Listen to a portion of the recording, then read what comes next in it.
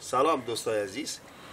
امین اکنون از جریان فیلمبرداری آهنگ جدید قرسک خوشبوجان یک از هنرمندای بسیار محبوب و هنرمندای خوش صدا و خوش سیما و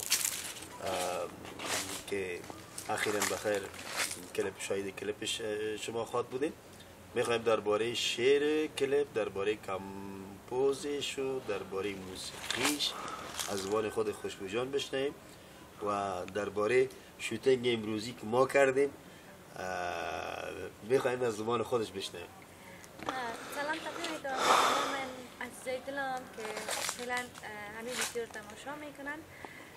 واقعا یک بسیار یک امروز روز بسیار مزدار است.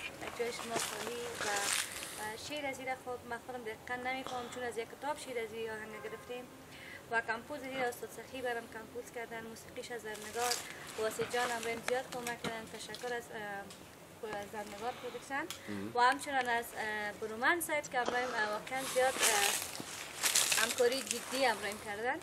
و دیگه بسیار خوش هستم. امیدوار هستم که بخیر. امی امروز ما هم به خوشی به پایان برسه. و شما هم منتظر آهنگ قرصک ما باشین. چون کار جدید مبرای استاد برومند است.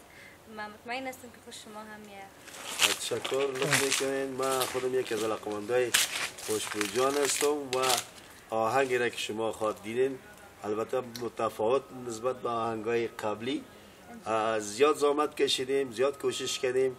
انشاءالله شاهد آهنگ از طریق رسانه محترم خواد بودیم تشکر. Zé Damas.